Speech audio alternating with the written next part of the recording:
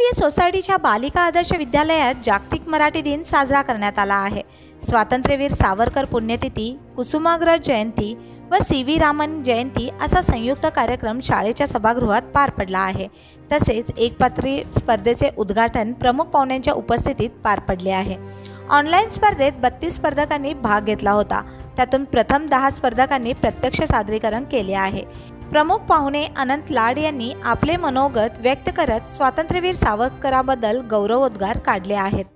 कारण तुम्ही सकाळी इथं नऊ वाजल्यापासून बसलाय पण तरी सुद्धा थोडक्यात मी आवडतो येतो.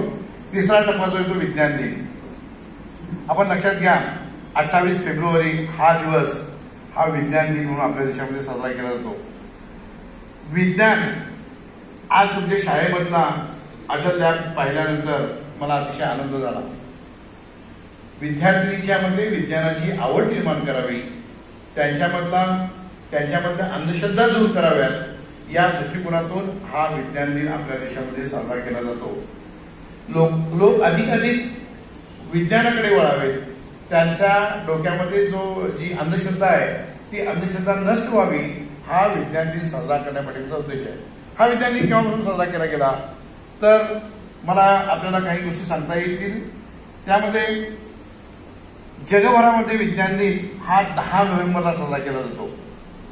संयुक्त राष्ट्र संघाच्या वतीनं दोन हजार दोन सालापासून जाहीर करण्यात आलं की दरवर्षी विज्ञान दिन आपण दहा नोव्हेंबरला साजरा करूया. आणि सामान्यांना वैज्ञानिक शोधाची माहिती मिळावी त्यांचा उपयोग दैनंदिन जीवनात कसा करता येईल याची माहिती द्यावी या उद्देशानं हा विज्ञान दिन साजरा केला जातो. पण आपल्या देशामध्ये विज्ञान दिन जो साजरा केला जातो तो अठ्ठावीस फेब्रुवारीला. त्याचं कारण काय? तर आपल्या देशामध्ये थोर शास्त्रज्ञ सर सी व्ही रामन यांनी एक शोध लावला आणि तो शोध कोणता होता? तर सी व्ही रामन इफेक्ट प्रकाश किरणांच्या संदर्भातला तो शोध होता. आणि तो शोध अठ्ठावीस फेब्रुवारी रोजी जाहीर झाला आणि त्यानंतर त्यांना नोबेल पारितोषिक मिळालं. आणि म्हणून सी व्ही रामन यांच्या जन्मदिनी हा यांच्या इफेक्ट जाहीर केल्या दिवशी हा कार्यक्रम साजरा केला जातो. तुम्हाला आणखी विज्ञान दिनाच्या बद्दल सांगायचं झालं तर जगभरामध्ये या विज्ञानाला वेगळं महत्त्व आहे. आज मगाशी मी पाहिलं की बऱ्याच विद्यार्थिनींनी आपल्या हृदयाबद्दलची माहिती त्या विज्ञान प्रदर्शनामध्ये केलेल्या मॉडेल्सद्वारे सांगितली. काही नवीन प्रयोग सुद्धा इथं केले जात आहेत. या विज्ञान शिक्षकांनी जो इंटरेस्ट घेतला आणि विद्यार्थ्यांना जे तयार केलं आहे ते अतिशय कौतुकास्पद आहे. तर आपल्या मनामध्ये विज्ञानाबद्दल आवड निर्माण व्हावी आणि आपण एक वैज्ञानिक तयार व्हावे हा त्याच्या पाठीमागचा उद्देश आहे.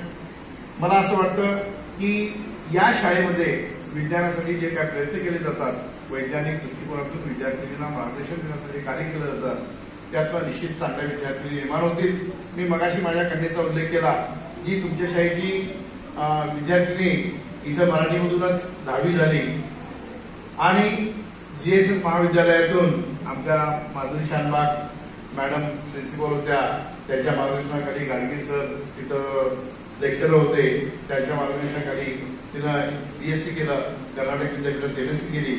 आणि आज मला सांगायला अभिमान वाटतो एली बर्टर नावाच्या एका जागतिक कंपनीमध्ये ती केमिस्ट म्हणून पुण्याला काम करते एका चांगल्या पगारावर काम करते.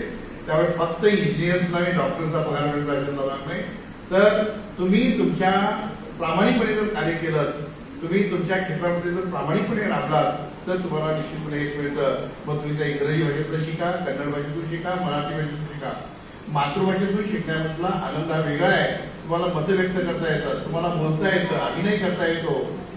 हेच तुम्हाला इंग्रजी भाषेमध्ये करता येत नाही. आणि म्हणून या दिनाचे औषध औचित्य साधून आपल्याला मला असं नमूद करावं असं वाटतं ते. म्हणजे मातृभाषेतून शिक्षण घ्या.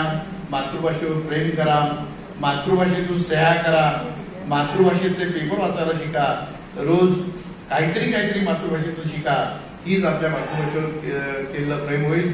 आजचा दिवस सल्ला केल्याचं समाधान मिळेल.